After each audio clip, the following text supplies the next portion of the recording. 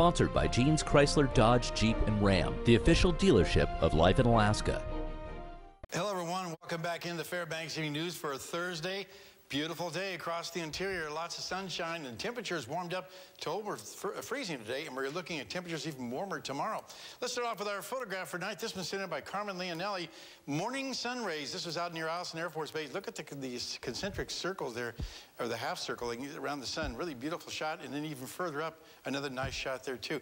If you have a photograph to share, by all means, send it to Mike Schultz at KTVF11.com. Here's what's going on out the airport right now. 32 degrees, freezing. Our low last night, 26 below. One more night of cold air last night, not tonight.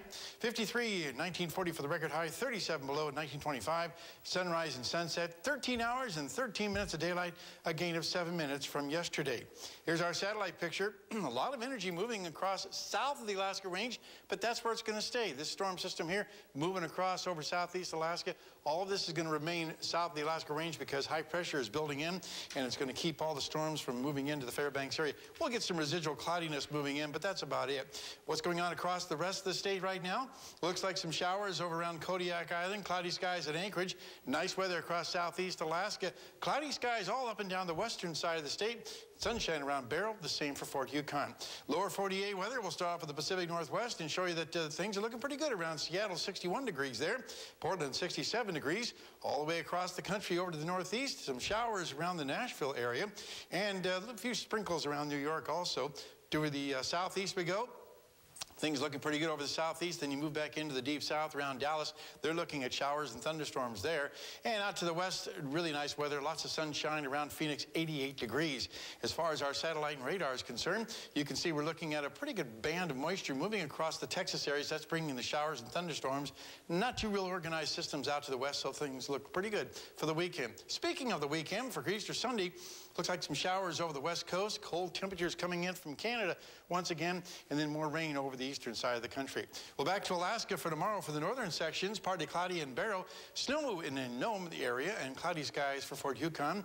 Here in the interior, not too bad. Nice uh, day in Fairbanks. Winds increasing near Healy, could be up to 45 miles an hour. Keep that in mind. Over southeast Alaska, mostly cloudy for Juneau, but partly cloudy skies in Ketchikan. And over to the southwest, we're looking at rain and snow for Cold Bay, rain in Kodiak, and cloudy skies at Bethel.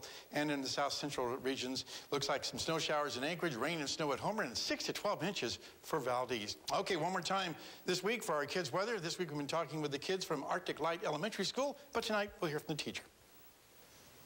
Hello, my name is Mr. Cromer, and this is my third grade class here at Arctic Light, and we have a weather fact to share with you. Class, did you know that a hurricane is so powerful that energy from the storm could power the entire United States for three years? No. Next week, we'll visit with the kids from Anne Wien Elementary School. One quick look at our road conditions. Oh, I guess we're going to talk about road conditions. We're going to go through our kids' weather again, accidentally. All right, anyway, our, our, forecast for tonight is looking pretty good. As you can see here, we're looking at 2 degrees below zero, much warmer than last night, increasing high clouds into the morning hours. Tomorrow's forecast, 32 degrees, considerably warmer with continued cloudy skies and the five-day outlook. You got to love it. Temperatures right around the upper 30s each day, and a chance of some snow showers for Sunday maybe. And then Wednesday, it looks like another better chance of snow shower activity there. And of course, the overnight lows will be once again very mild into the 10 to 12 degree category. Pretty nice uh, for this time heading into Easter.